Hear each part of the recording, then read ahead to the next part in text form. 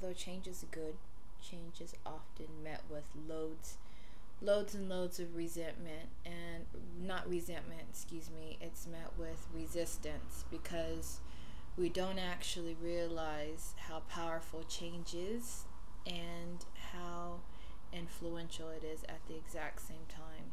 Um, but change has to happen because everything in life is cyclical from the different seasons to the cycle of the moon and the sun to how our earth revolves around the sun and our solar set and the galaxy and everything. So, even looking out into nature, you realize that everything has a cycle to it, and sometimes we don't understand it, but some cycles need to come to an end because, in order for a new cycle to begin, an old cycle has to close.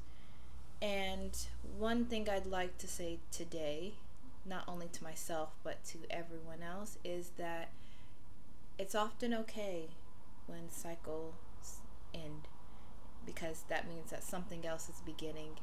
And although you may not understand it at the moment, although it is scary for most of us, I would say go through the motions and allow yourself to feel, allow yourself to express, allow yourself to heal because all of these things we don't allow ourselves to do properly. You know, people say, oh, you know, I've lost my job. Okay, get over it, find a new one. Well, if you've invested your time into something, you actually have, you need a healing process, just like getting out of a relationship or losing a loved one or getting back to the grounds of you if you've had low self esteem all of these things take a process because you have to deal with the underlining issues instead of masking them and moving on to the next task.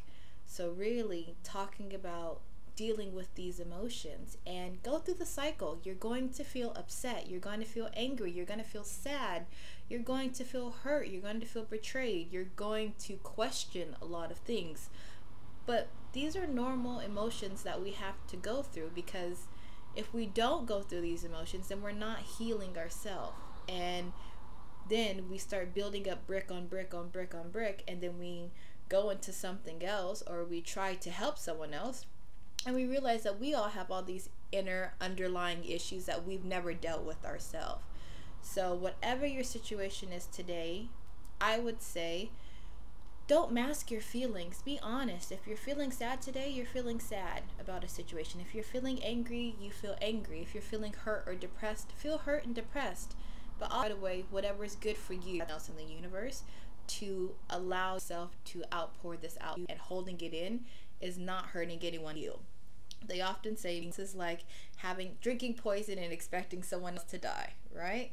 So from that manifestation, just really know that you're not alone because there's loads of people going through whatever situation that you're going through right about now.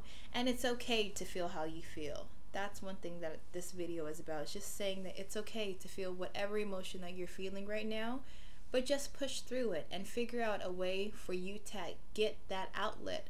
So if it's crying, if it's, you know, screams really can be helpful to you to just express how you feel and get it out of your own system. So today, be honest with yourself. Be honest with the real true you, who you are, and respect that.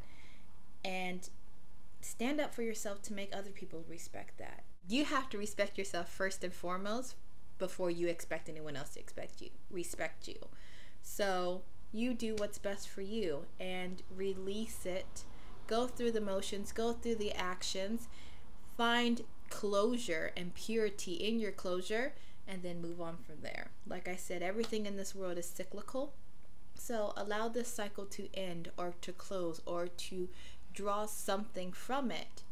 And then from there, you can go forth and manifest whatever else you need to manifest.